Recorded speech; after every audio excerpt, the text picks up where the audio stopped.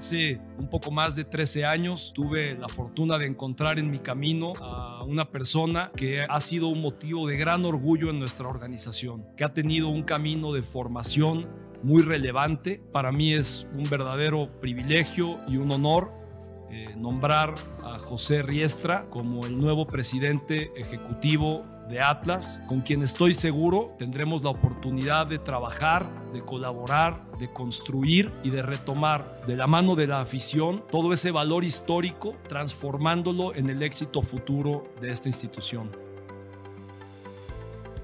Y al final, desde, desde mi óptica o, o desde mi punto personal, es el trascender es el dejar huella, el haber logrado un cambio, el, haber transformado una situación que se venía haciendo de una forma y hoy se hace completamente distinto. No, no creo que sea ni mejor ni peor, simplemente distinto y que eso te traiga resultados y vaya dejando una escuela y que al final sea un proceso que se repita, que se repita, que se repita, que se repita y que constantemente te dé esa satisfacción de que estás consiguiendo los objetivos.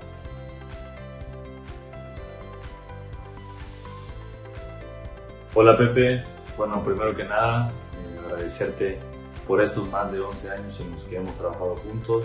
Creo que han sido de mucho aprendizaje y de muchos frutos. Eh, también agradecerte por ese grupo que se conformó, que logró el bicampeonato con Atlas.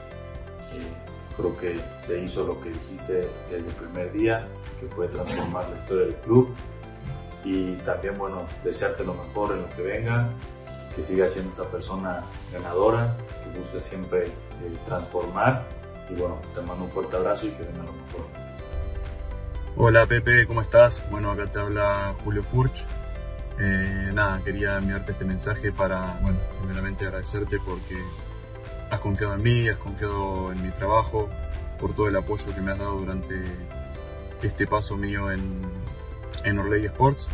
Eh, nada, y felicitarte porque creo que sin duda que tu trabajo al frente de, Atlas, de lo que es Orley Sport, eh, creo que ha, marcado un antes y un después del club y de ser el, mayor de los éxitos en lo que venga acá para el frente. Hola Pepe, ¿qué tal? Eh, nada, quiero mandarte un saludo muy especial. Eh, muchísimas gracias por todos esos momentos vividos en, en Atlas. La verdad, me ayudaste mucho, me ayudaste a crecer como persona, como jugador y siempre estaré agradecido, siempre te lo he dicho. Eres una excelente persona. Gracias por todos esos momentos, ¿no? Siempre estás ahí para, cualquier persona que lo necesite, siempre estás trabajando duro para conseguir lo que te propones, ¿no? Muchísimas gracias por todo el apoyo que me diste en, en mi estancia en Atlas. Y nada, gracias por la transformación. ¿Cómo están? Quería aprovechar esta oportunidad para mandarle un mensaje a Pepe Riestra, eh, desearte éxito en los futuros proyectos. Se te va a extrañar porque hiciste un gran trabajo con el Atlas. Así que Pepe, un abrazo grande, éxito en lo que viene y saludos para todos.